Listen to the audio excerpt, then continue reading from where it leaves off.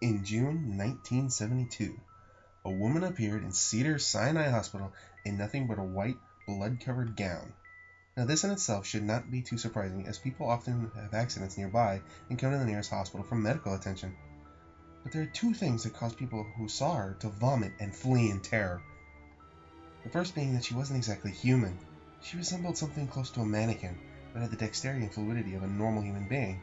Her face was as flawless as a mannequin, devoid of eyebrows and smears and makeup.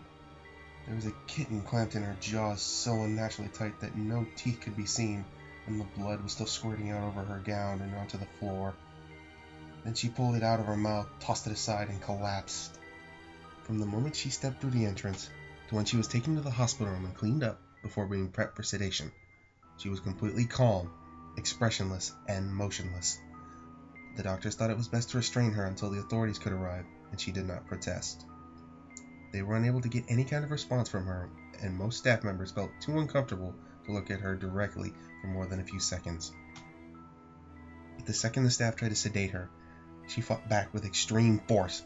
Two members of staff had to hold her down as her body rose up on the bed with the same blank expression. She turned her motionless eyes toward the male doctor and did something unusual. She smiled. As she did, the female doctor screamed and let go out of shock. In the woman's mouth were not human teeth, but long, sharp spikes, too long for her mouth to close fully without causing any damage.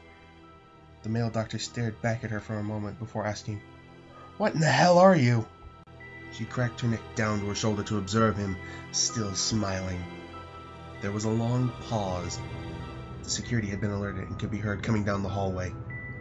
As he heard them approach, she darted forward, sinking her teeth into the front of his throat, ripping out his jugular and letting him fall to the floor, gasping for air as he choked on his own blood. She stood up and leaned over him, her face coming dangerously close to his as the life faded from his eyes. She leaned closer and whispered into his ear, I am God.